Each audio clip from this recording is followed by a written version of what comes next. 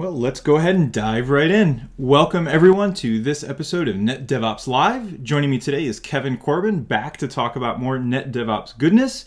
The topic of today is PyATS, a free tool from Cisco that you can use to verify and test and run configurations and, and all sorts of good stuff against your network as you're going through your Net DevOps pipeline and development process.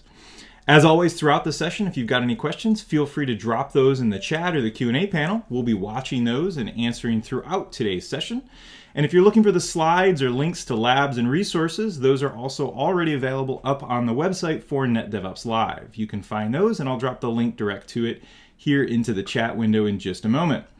With that, I'm going to go ahead and hand it over to Kevin so he can take us away. Thanks. Thanks, Hank, and welcome everyone.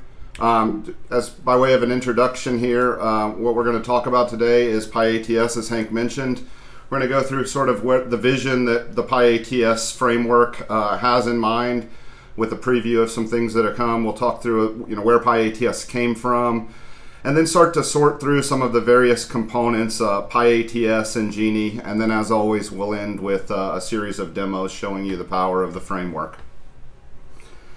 So in the in the testing and validation and really the broader network de net DevOps space, you know, we focus a lot on the configuration management pieces of it, of, of how we kind of push configuration down to devices. But a larger majority of the use cases that I run into with customers have to do with this notion of a device check, where it's a combination of what is the configura configurational state plus the operational status of that configuration and customers have a large desire to kind of create this device health check notion. And, and certainly we see that as being a piece where the PyATS framework can fit into, but there's also a much broader vision that uh, the PyATS team has around this continuous network verification, right? So whether you're a network engineer, you know, a developer working on a new service or a customer of it, we want to provide a dashboard where you can go in and, and you know, propose network changes, uh, get reporting as to what the impact of that would be from the network, uh, integrate in with things like Jenkins, and then also be able to have integrations into kind of lab as a service components where maybe this isn't your production network, but you want to spin up a VIRL topology or you have a hardware based lab and you want to you know allocate resources uh, create a test bed and then execute your network tests on that uh, for you know pre-change sort of diligence kind of use cases and things like that. Today, what we're going to focus in on is the testing environment uh, comprised largely of PyATS and Genie. Uh, but stay tuned for some announcements from the PyATS team around the S3 dashboard and Lab as a Service components that are shown on this slide. Those are uh, you know, going to be available to you uh, shortly. So when we talk about PyATS, I think it's important to note kind of where this came from. Originally, PyATS was a framework that was launched internally at Cisco for the purpose of providing our various product owners with a common framework that they could use to test new features that they were implementing or to do regression tests against uh, you know new software versions for their platforms. And so this has been used uh, in a big way in Cisco since 2014. Uh, we have over 3,000 of our engineers that, that represent the various products uh, um, that are using the framework to test their features and do the sanity tests that I mentioned. Uh, we have over 5 million lines of test cases that we use to validate uh, all of the various platforms. And we're using uh, PyATS test runs at a, at a pace of over a million per month as we continue to announce our features.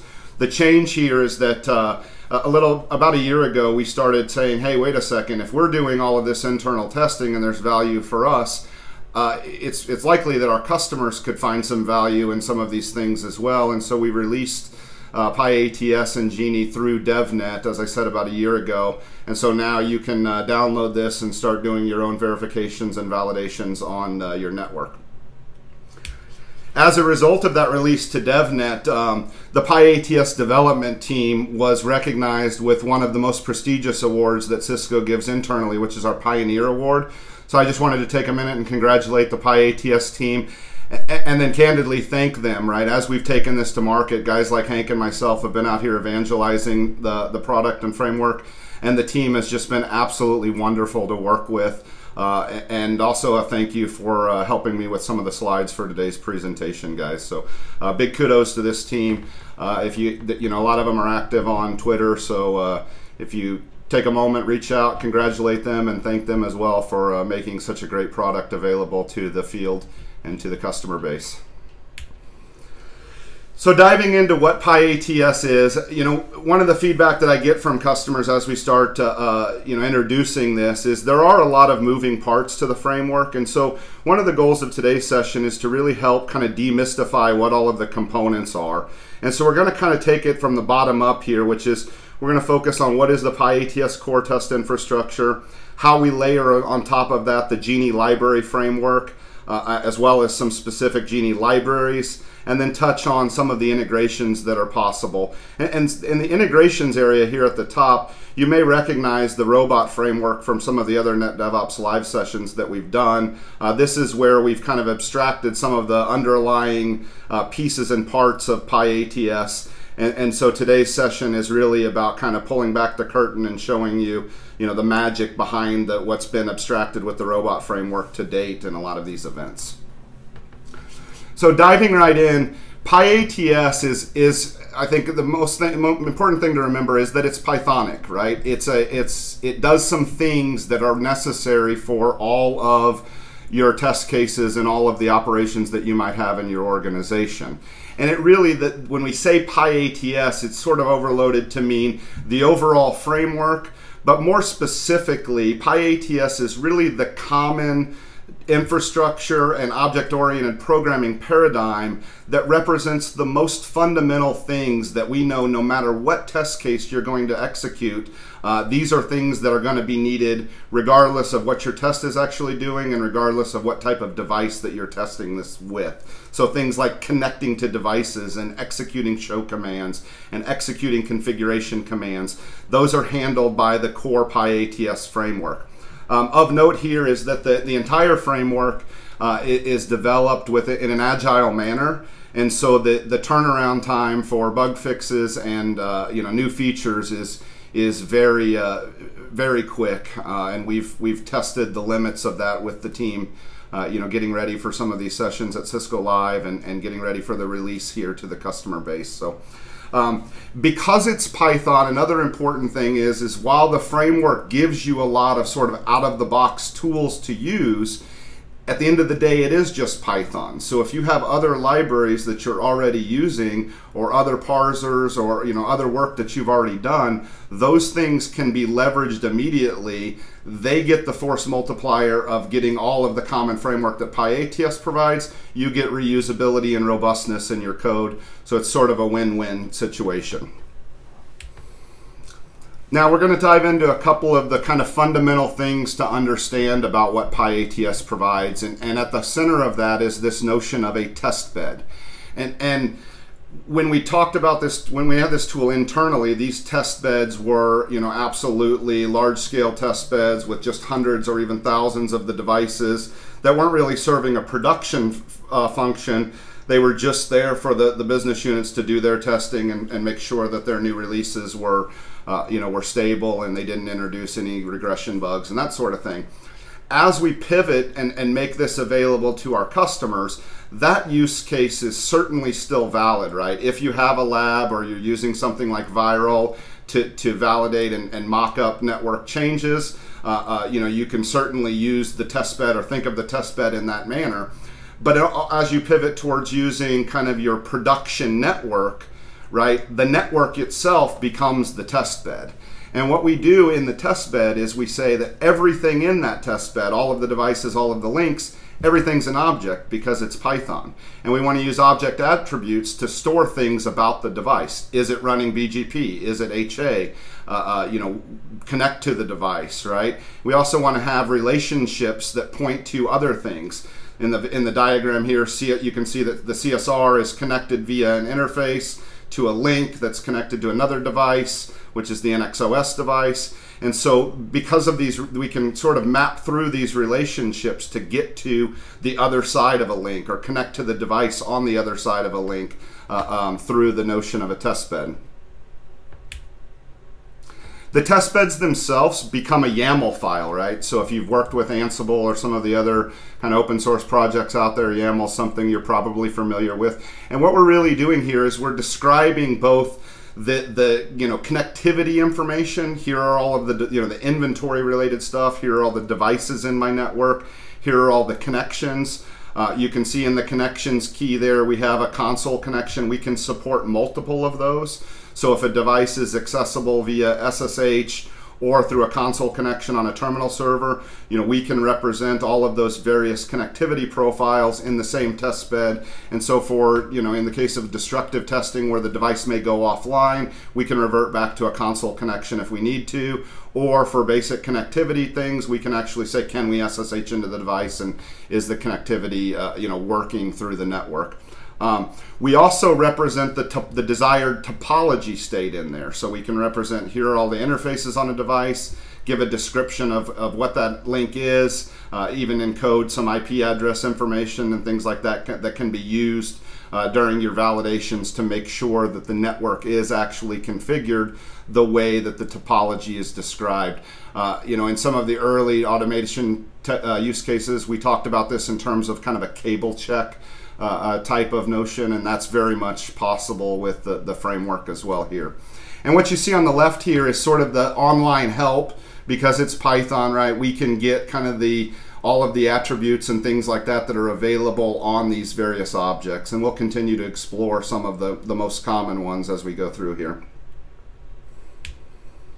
Um, I, I, mentioned the testbed object, right? This is the highest level. Uh, testbed objects contain a number of devices. Device objects contain a number of interfaces. Interfaces contain, a, uh, you know, a link that they're associated with, and one or more interface, and therefore one or more device can be connected to a link object, and, and those can be resolved through uh, a Python API.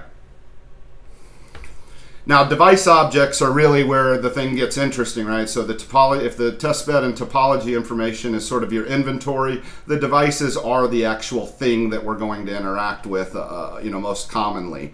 And again, these are Python objects, and those device objects represent the most common operations as methods to it. So I may have a device object that I want to connect to, or I want to uh, you know issue a ping from that device or execute a show command or a configuration command. Uh, I can do that directly by calling one of the appropriate methods uh, to run the command or perform the operation. And then from there we can sort of use that output to either parse it directly if it's a you know simple operation or we can use other libraries like Genie moving forward which we'll discuss or if you're more familiar with TextFSM or if you're a regex uh, you know, guy, you can absolutely do those kind of same things as well. Um, but that's sort of your device object. The other thing that the PyATS framework provides outside of the notion of the test bed and device objects is the idea of a test case, right? So what we're talking about here is testing and validating your network. And every network engineer sort of knows intuitively some things about their network. You know, some examples of this might be, uh, uh, you know, I want to test for a certain condition on a device, right? Well, what what PyATS aims to provide you is you focus on the thing that you care about, which is that validation or that test and the framework provides things like the common logging, how do we track the results in, in a multi-step test plan, um, you know, how do we introduce the logic to say I want to execute this test, but I want to do it on, you know, these hundred devices, or I want to do this same test on all of the devices, and that sort of basic control flow uh, is built into the, the framework for you. Um, the overall structure, and we'll deep dive on this, but, but a test script has kind of a common setup, right? What, what are the things that you want to do prior to executing your, your test? And in your lab environments, this might be things like as simple as connecting to all of the devices. Uh, it also may be something like maybe I want to start a traffic generator, uh, um, or maybe I want to lay down a, a, proposed network configuration that I'm going to validate. All of those things can be done in the common setup. Then we move into the uh, actual test cases. Here are the things that I want to validate. And then finally, we move into a common cleanup session where maybe if it's a shared lab environment, we, uh, you know, be a good good citizen and kind of clean up after ourselves and and re- reset the test bed back the way that it was when we started, so that the uh, the next user can can jump in and execute their test cases.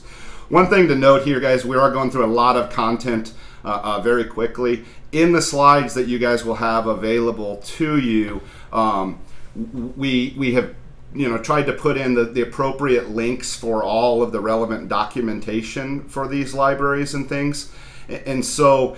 Um, you know the, the documentation for PyATS and all of the Genie libraries is extremely detailed and extremely good. I, I would highly recommend that you um, uh, uh, take a peek through some of this and kind of read up on it on your own. The team's done a phenomenal job of not only making the documentation comprehensive, uh, but they've actually made it entertaining. They've encoded use case stories or, or even you know kind of fictional characters into the documentation, so it's not uh, not the usual documentation that you read when you're having a, a, hard time getting to sleep. This is something that you should find entertaining and, and valuable. Drilling into what we mean by a test case, right? When, when we think about network operations and, and sort of either in the validation or even sometimes in the troubleshooting steps, there's sort of a high level flow that ends up being is that we kind of go in, we check something via show command, we might change something via configuration, and then we you know rerun the same show commands and verify that the anticipated change uh, you know was actually made. What the test case allows you to do is, is codify that into a Python code that says here are the show commands that I want to run here's the configuration change that I want to make, and here's the verification. And should that verification change or deviate, uh, you know, in an undesirable manner uh, as a result of the, the trigger, you know, which could be a, a configuration change or one of the, the pre-populated triggers that the framework provides, uh, then we can simply fail the test and, and kind of move on. Um, and as I mentioned, the common cleanup section, then we would you know go through and make sure that the, the test bed is reset and clean up whatever configuration changes we made uh, in, in the test bed. And again, the framework, uh, you know, a large part of what the framework does is to handle sort of the mundane details for you as to after you've written your test case, and you can see on the left sort of a boilerplate test case in Python. Uh, there's a number of decorators that make looping easy. Uh, the common setup, you, you, know, routine is just a matter of subclassing uh, the built-in common setup library. and then test cases are just a number of classes which inherit from the, the test case base object. Uh, and you can see there's you know ordered steps that go into the test case. I mentioned the looping capabilities, and then finally the cleanup of a uh, of, of a particular test case after the Python actually executes, you don't have to worry about you know the things like logging or printing the results out really nicely. The framework takes care of that for you, both in the console test report that you see on the top here, or if you so desire and need to kind of forward this on to your management, we can generate pretty HTML reports for you as well. Uh, that show you the high level summary, and then you can drill into each of the you know test cases and, and see all of the various output that was logged and, and that was collected during the, the test run. Uh, all is time stamped and can be integrated in with email notifications and, and kind of the stuff that you don't want to have to think about when you're just wanting to validate something in your network. So moving into Genie, uh, you know, we said, hey, Genie does stuff, right? And I think the important thing in, in the PyATS, we said it does things. In Genie, it does stuff it's not so much important like which one does which. Over time as you start to work with the packages you'll you'll kind of get a feel for where you know the things that you want to do versus the stuff you want to do. But but in general i like to think of pyats as things that i can touch right? It's devices it's links it's uh, uh, things that i want to do execute commands and so on Genie, I like to think of as the stuff, right? It's the stuff that's a little bit more intangible. Things like OSPF or BGP or HSRP and the features that we're enabling on the things in our network, right?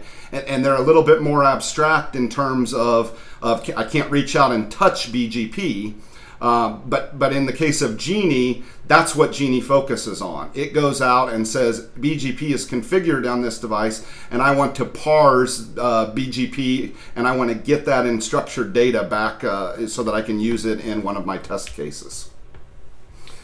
Genie really has kind of three high level libraries that are subcomponents of it the genie.conf library, genie.ops, and genie.sdk. And for the network guys on the call here, right, we kind of have to map this back to things that we know. So if your automation or what you're trying to automate or validate requires that you go into config mode, uh, you can assume that, that, that, that the library that you need to start looking at is the genie.conf library. If it's running a bunch of show commands, right, that's going to be in Genie Ops. And if it's more of a procedural thing, like maybe I want to clear IPBGP and then right after that do a show IPBGP and, and uh, you know, parse that data, these are going to be stored in the genie.sdk and, and are also known as triggers and verifications in that library. But in all cases, again, what we're doing is we're providing these feature-centric object models. So BGP is an object just like devices were an object. BGP has properties. What is the AS number? Uh, you know, what are the neighbors that BGP has at a device level? What are the kind of options for that neighbor, route reflector client? And we're providing structured data that we've derived by parsing the configuration and or the operational state of that data. And, and I think that's really the value of Genie is that so many of our customers are working with libraries like Text TextFSM uh, um, or you know regex, and they're having to do a lot of screen scraping. Well, here what we've done is we've provided those parsers both in a device agnostic way, so that I can represent BGP as a as a thing. Uh, um, regardless of whether that BGP came from iOS XE or NXOS, the data structure between those two objects from two different platforms is going to have the exact same schema.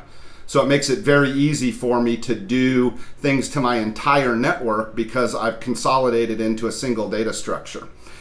They're also agnostic into the management interface that we get, right? We're, we're in a place in, in, a, in the market right now where we're undergoing a transition between legacy device level interfaces like CLI and moving more towards Yang, RESTconf, and NetConf and kind of XML data structures.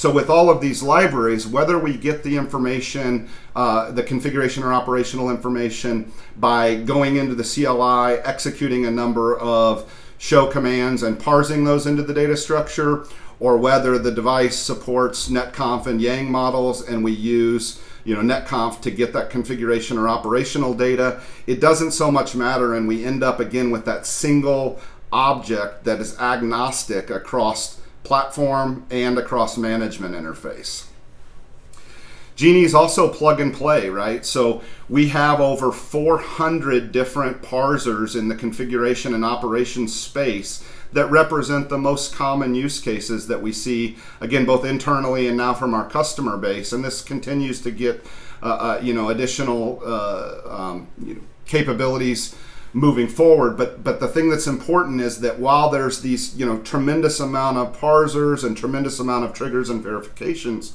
that are out there, you can only you, you only have to use what it is that you need right? It's a very uh, uh, you know opt-in type of model for using these libraries. And then as i mentioned it's also extensible right? So if for some reason you know the basic out of the box parsers and object models that we provide you don't fit your need again it's python we can inherit any of these objects and we can extend it or overwrite the behavior that that is the default uh, you know, very simply.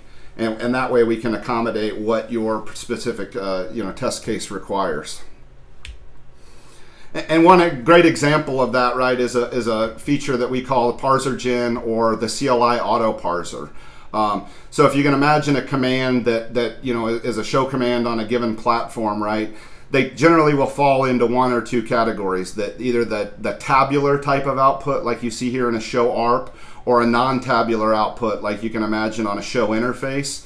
And, there's a few of these methods in ParserGen which make it very easy for you to parse, you know, that tabular or non-tabular data simply by providing the command and then, hey, what are header fields? And then all of the other heavy lifting is done for you and we'll parse that into to data structures like you see on the right here. So it's a much simpler way than the current uh, kind of state of the art in, in parsing output from devices is. Now, the triggers and verifications are an attempt. These, now we're moving on to the Genie SDK, and I've mentioned triggers and verifications a couple of times now. But imagine triggers being sort of in your testing environments you know, as you're, you know, commissioning a new environment, right? You want to do some, you know, shut in, no shut in interface and make sure your routing protocols converge or, uh, uh, you know, reconfigure BGP or add a BGP neighbor and make sure that that doesn't have any impact on the, uh, you know, on the network or, or device uh, um, operation. And then that goes hand in hand with the verifications, right? After we shut and no shut, we might want to run, uh, you know, a verify BGP. And, and, these also can be used in kind of a pre and post change manner. So again, sticking with that BGP use case, maybe in my testing environment, I want to, you know, remove all of the BGP configure, or, or first take a snapshot of what the operational state of BGP is, remove all of the BGP configuration, re-add all of the BGP configuration, and then make a post snapshot and then do a comparison before and after, right?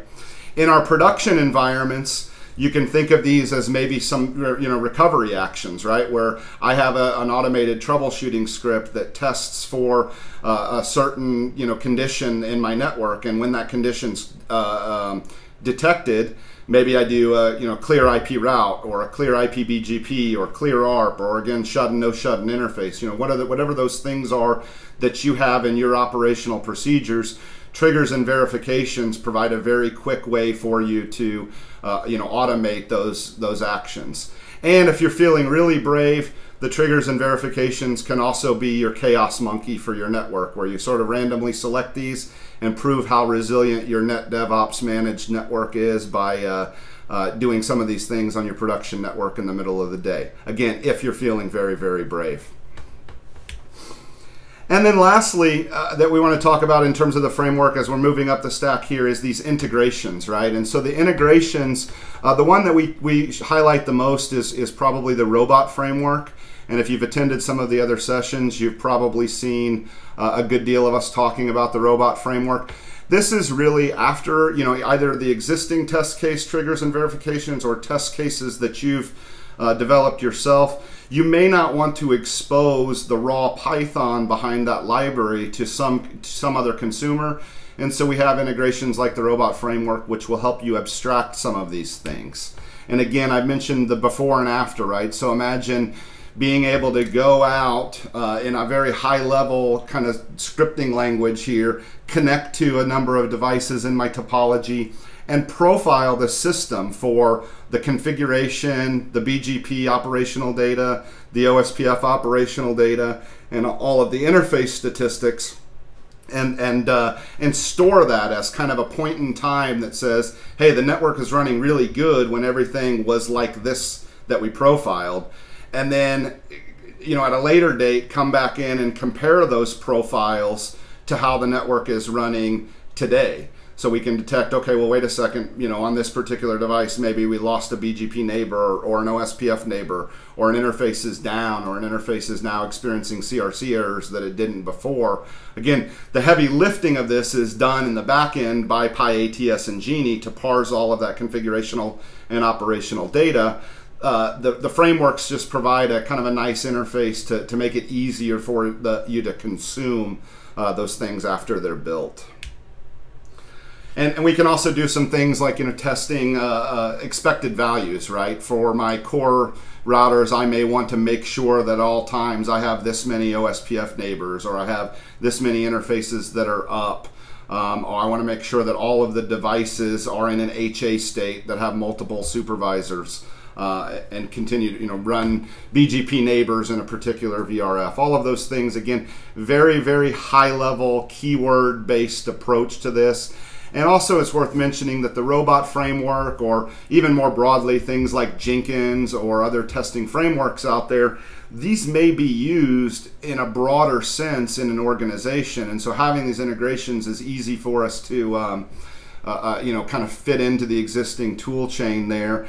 And when you think about the robot framework, this also maps very nicely into if you wanted to say create a chatbot for some of these verifications where your network operations center rather than having to log in to do all of the you know show commands and and parse that you know compare or uh, stare and compare between you know different show commands on devices and, and before and after snapshots uh, those things can be done you know by integrating very easily into your chatbots that you might be building or chat ops as the as the industry is kind of termed and you can see here we have a number of the other uh, you know uh, keywords available, both in terms of learning, parsing, running these triggers, running these verifications, um, and kind of the, the variable mapping that goes into the Python behind the scenes is, is outlined here.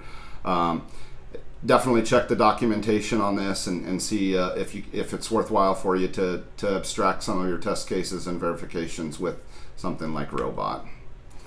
With that, I'm going to pause for a second here. Uh, Hank, do we have any questions in the Q&A? You know, we've had actually several questions that have been all really good. I think I've covered most of them. There was a question that came in recently: is the um, is the parser code and uh, elements open sourced with Genie on those areas? I'm I'm providing some links and stuff inside of the question panel, but you might want to tackle that one live as well. Yeah, all of the parsers and libs and and triggers and verifications are open sourced. Um, they're available on GitHub, and, and, we'll provide the links to those repositories, uh, um, you know, in the show notes or whatever. Uh, there are a few components of the PyATS core framework that are not yet open sourced. Um, those things are, you know, it's just as we take this thing to market, it's it's a little bit of a, you know, we, we have to make sure that we're, we're um, you know doing so in a responsible manner. And, and I, I suspect that more of the framework will become open source over time. But today the stuff that most of the engineers care about or and all of the stuff that the engineers should care about in the way of the parsers and these libraries is all open source. Um, that's great for you to be able to kind of you know as i'm developing new test cases one of the things to do is actually go out look at that source code and and uh, you know borrow it, so to speak, as I'm developing new parsers and stuff. So, absolutely. Great. And one other question just came in that maybe you'd be able to tackle. Does the output of the show command have to come from PyATS?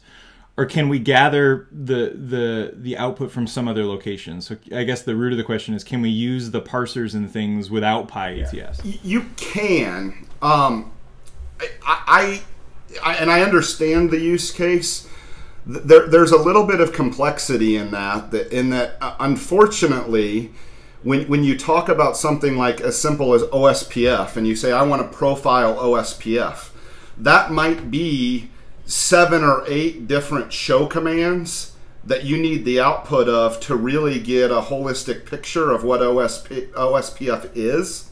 And so if you can provide to the parser the output of all of those commands, then absolutely it can parse it into this common data structure that we've talked about. The beauty of using it inside the PyATS framework is that you don't have to know what those five, six, seven, or eight commands are beforehand. You tell it to profile OSPF, and if those seven commands are are XY, you know, XYZ on iOS XE, but maybe ABCDEF on NXOS, again, you don't have to worry about that. It takes care of it for you. But if you absolutely had to and you're collecting some output from somewhere else, or maybe you've got it collected as part of a you know some other management tool, if you map the right output to the right parsers, it will absolutely parse the existing data that you have. Cool. All right. Thanks, Kevin. Those are great. Uh, I'm excited to see the demo. I'm sure the audience is as well. All right. So I'm going to switch over here. Let me just restart my session here. Um, so what we're going to start off with is kind of an interactive view of PyATS. And, and, and I like to demonstrate this from the, the standpoint of this little uh, wrapper that I created, and we'll provide a link to it um, in the show notes, but I call it iPyATS. And it's just a good way, because PyATS is Python, as I'm developing test cases, I want to quickly connect into the network and start to see what all of the different APIs and libraries that I have available to me uh, um, are. And, and I, IPyATS, I find it was just kind of my personal workflow. I figured somebody else might uh, might find it useful, and so I, I, put it up on GitHub and and uh, you know you can you can absolutely check it out. What it does though really is is just takes a testbed file, which as I mentioned, the testbed files themselves are um, just YAML file. I'll, I'll, take a quick peek here at the uh, uh, um, you know the one that we're working with here. We happen to be using uh, the DevNet Always On sandboxes.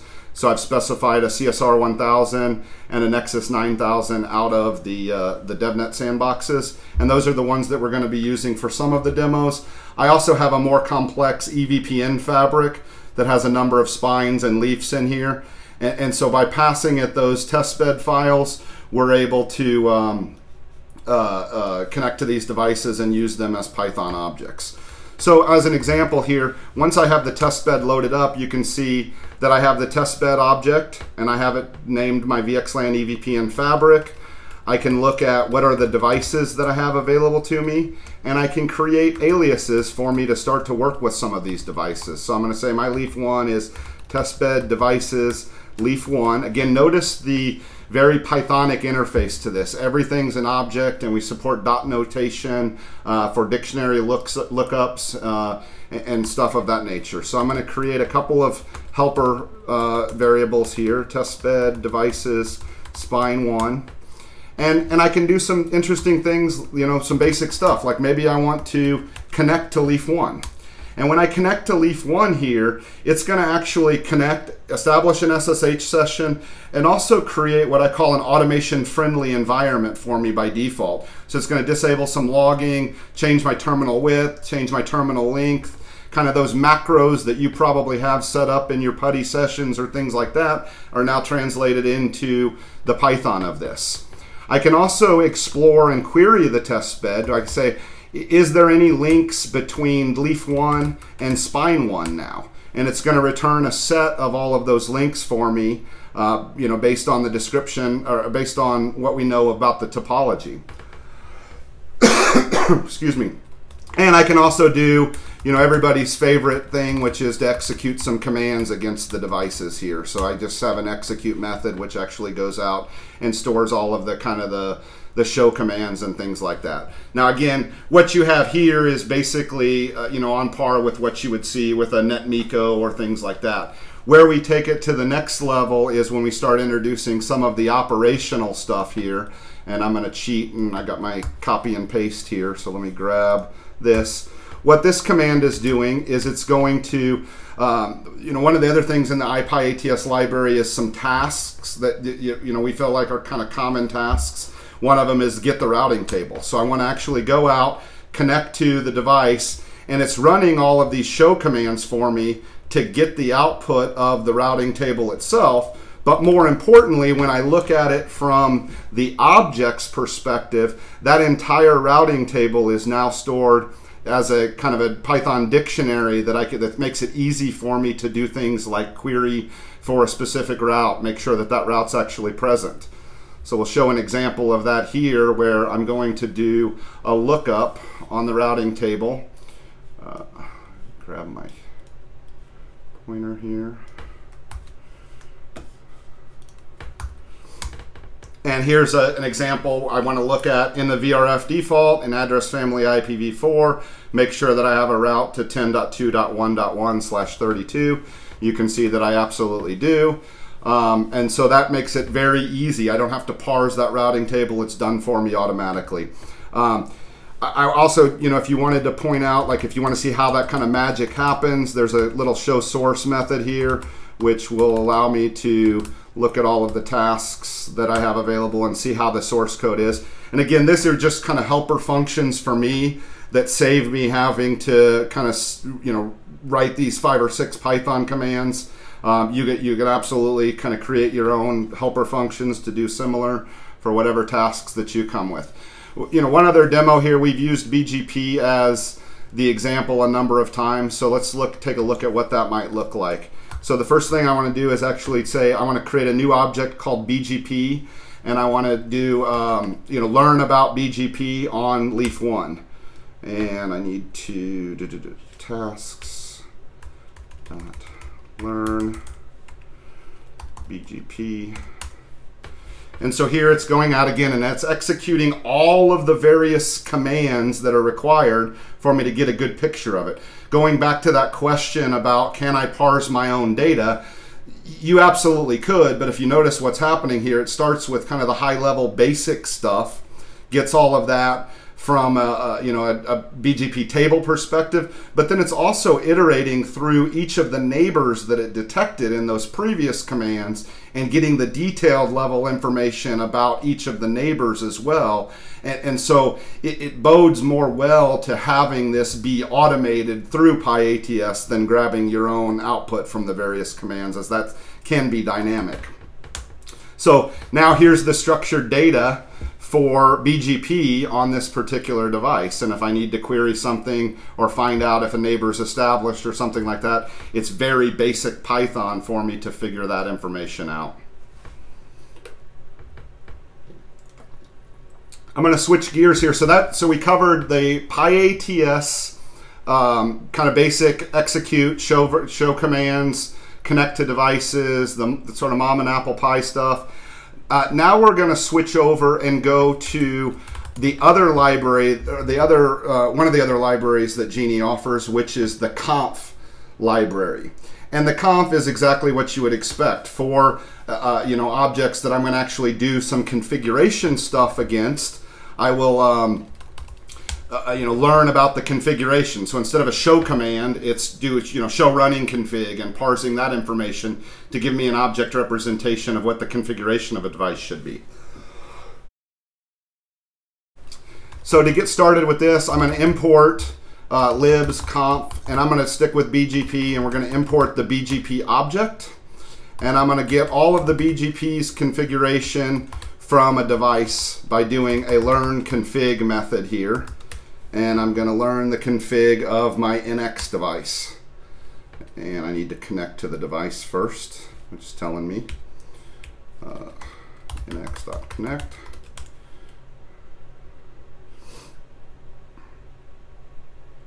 This is sort of a, a gotcha that's worth pointing out, and you can see I kind of always fall for it myself because of the dynamic nature of some of this, not all of the methods are going to be available to you unless you're actually connected to the device and it's done the initial parsing to say, oh, this is an NXOS device, and so I need to know here are the parsers that I load. So let's try this again and see if it works a little bit better for us.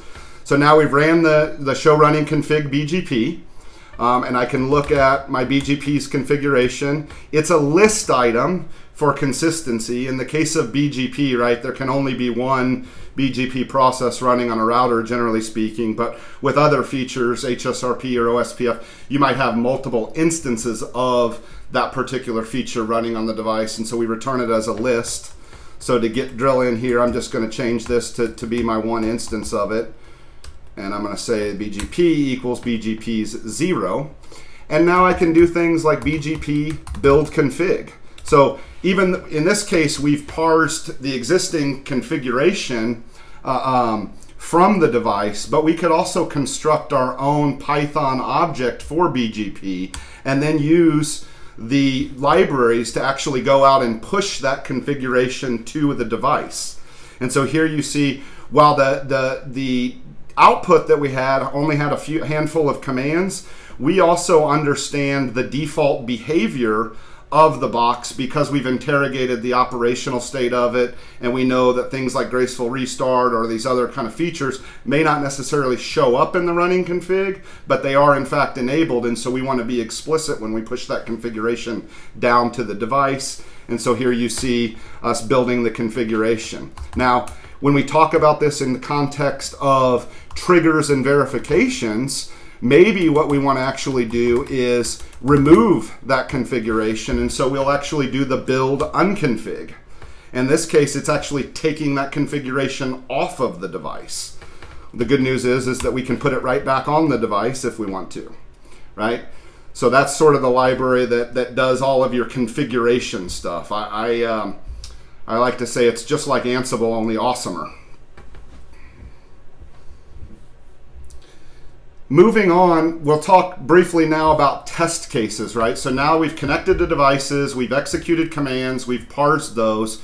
What do we want to do with that information? And, and the first thing to understand is that a test case is just Python, right? And, and there's a lot of boilerplate code that's out there for you to use. I'm going to run through a sample test case here, which is showing you all of the uh, uh, you know, kind of framework stuff, the report summary, success rates, things like that. And you can see here I have a test that's actually failing. Well, let's look at our source code and figure out why that test is failing. Our source code in this case is looking at a, you know, here's the common setup. And again, there's a lot of Python out here, but most of this is just boilerplate code that you can download off the repos that we'll point you to in the show notes. And you can see here's my subsections. And then when we get to the meat of my test case, I have a setup step in here and I'm setting a couple of variables and then I'm checking to say, hey, if these things aren't equal, right, um, then, you know, fail the test. And so you can imagine uh, uh, you know, in more real world scenarios, things like, hey, if CRC errors on an interface isn't zero, fail the test. Or if a BGP neighbor isn't in the established state, simply call self.failed, pass it your message, and move forward. So for the sake of demonstration here, we're going to take away the logic that says 1 and 2 should be equal, and we'll rerun the test case, um, and our test should now pass. So again, very basic test case scenario here. But the point being is that this is just Python. And when you take the framework of PyATS, you don't have to be a crack Python developer to create very, very robust test cases because a lot of the heavy lifting is done for you by the framework itself. Moving into some more uh, interesting test cases here. Um, what we're going to do here is we're going to run kind of building on top of that, that basic test case is we're going to say exactly what I just mentioned. If a BGP neighbor is configured on a device, then that BGP neighbor should be in the established state. Otherwise, there's a condition that, that, that we need to know about and maybe we need to investigate further. Um, and so that's what the, the following test case is going to do. One thing to note here, I, I make extensive use of make files in my uh, my demos simply so that I don't you know fat finger commands when I'm typing. Uh, Hank always likes me to point out what the make file does. In this case, I'm going to issue the test target, which is going to run a, a, a program called EasyPy, which is the runtime environment for PyATS test cases. I'm going to pass it the Python file and I'm going to pass it a variable which is the test bed that I want to execute that that uh, test against. So you can imagine you have you know test environment, prod environment, maybe a data center one, data center two environment, and you can represent those inventories as different test bed files and reuse the exact same test over multiple topologies because we don't care what type of device it is, we don't care how many devices there are when you factor in things like looping over the devices that are in the, the test bed and so on and so forth. So enough talking, let's actually run the, the BGP check job here. And while this is running, it does take a few minutes. It's going to go out and it's going to do kind of a superset of what we've shown today. It's going to create that automation friendly environment, log into the, all of the devices, run all of the required BGP commands for us. Let's let that run for a second and let's take a look at the, the code that we're actually executing here. So in my first step of my test case to verify whether all the BGP neighbors are established, I'm going to make sure that I can actually learn about BGP on all of the devices. So I have a very, very simple uh, um, uh, loop here that says, hey, for all of the devices in this self.parent.parameters, which I've passed to it in my common setup where I've verified that I can connect to all of the devices in the network. That's the first step. If you can't connect all the devices in the network, you can't, you know, pass the test because we can't verify whether BGP is there. And then I've passed those to the, the parent parameter, which is the test script that allows me to reuse these in additional test cases. So after I learned BGP on all of the devices, then my logic becomes, you know, I build a common data structure for all of the BGP sessions. And then I loop through that and say, go through each of these, parse down to a particular VRF, look for neighbors, and then for each of the neighbors, check the session state and make sure that the session state's established. And if it is, we're in this case, we're creating a another table uh, using another uh, Python library called tabulate, which checks that you know pr- uh, presents a pretty table for us in our log messages. And then finally, we say, hey, if there's anything in the failed dictionary which gets populated if the state is not established, we add it to another data structure here. And then finally, if anything exists in that dictionary, we say the test failed. Otherwise, all of the BGP neighbors are established and we're good to go. So if I switch back over here, you can see the test run. Obviously, it parsed a whole bunch of BGP commands on a whole bunch of devices for me. Uh, it printed this nice pretty table using the tabulate library showing me all of the, the devices, the neighbors that are configured on them, and whether they were established or not, and then an indication of pass fail, which is also provided to me by the framework itself. So I get the pretty message here. The point there is, you know, it, it, probably doesn't make a lot of sense to log the same table, but maybe in the case of one of those, you know, one neighbor is failed, uh, you don't want to, you're going to fail the whole test case, but you also want the forensic data to say, why did that test case fail? And so you can have it right there in your log messages um, to, to make your, your next steps uh, more clear. Um, and then on a similar note, I want to show one last um, example here, which is, uh, and I mentioned this one before as well. We want to check to say if the um, if an interface has CRC errors, that's something that we want to know about. In this case, I'm going to take a test case that's written in Python, very similar to the BGP one that I showed, but we're going to abstract it with the robot framework and kind of see the difference. Notice that we're losing a lot of the noise on the console and, and, so you you don't have all that back scroll information, but you do still get the basic information to say is the test passing or failing.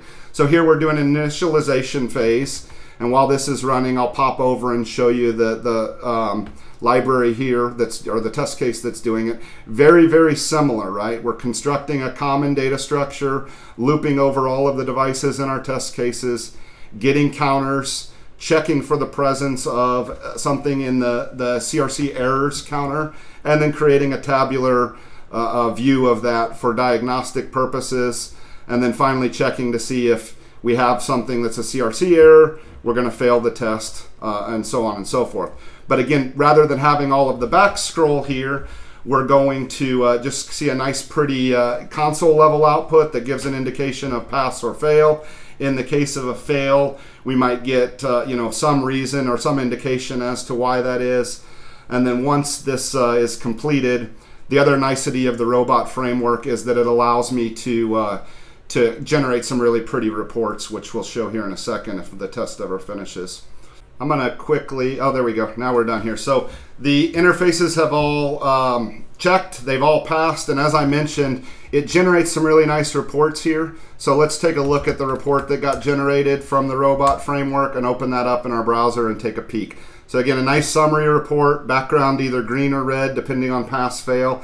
And then if I want to, I can opt in to see all of that data that was actually parsed uh, from PyATS and, and, and uh, you know, drill into what actually was going on, all of the interface, the actual show commands if you wanted to verify that the tool was actually doing its job, you could you could drill in and see all of the actual output that was there.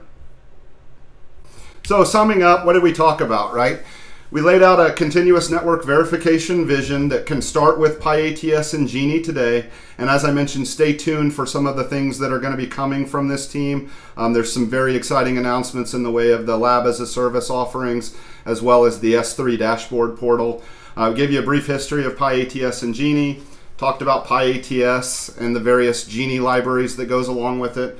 And, and we showed you a, a, tremendous amount of demos that uh, show you how you might get started using this. Hank, you want to bring us home? Absolutely. Thanks so much, Kevin. Great session as always. So, as we always do, we like to gather up the, the potential materials that you can use to deliver this or dive deeper into the content. Uh, the documentation for PyATS is all available, and it is actually, as, as, Kevin points out here on the slide, it is really quite good. It was written for people to developers to go through and use the pieces, so that's a great place to kind of get started and take a look. The code that we've used in some of the examples here that Kevin ran through, as well as some other sample scripts, are available and listed. And then Kevin's done a great job at pulling together some getting started uh, learning lab material that he's published up on Katacoda, another kind of learning framework. And so those links are there as well, so you can dive in and kind of walk through PyATS and Genie and test case development as it goes in. And then once you've gone through some of those pieces, if you're feeling frisky, please jump in and participate in our Code Exchange Challenge. Um, figure out how to write some network verifications for different features, maybe HSRP or OSPF, um, and then submit those back in one of the things that's going to be nice with PyATS as the community grows is having a library of example um, tests and things that we can kind of consume from each other and make available as it goes in. And that'll be the big part that makes it easier and easier for us all to consume and write really good network verification tests. And as always, we've got the general NetDevOps content up on DevNet. So uh, developer.cisco.com slash NetDevOps and then slash NetDevOps slash live to reach the information about all of the webinars, past episodes, future episodes that they're coming through. So please be sure to check that out.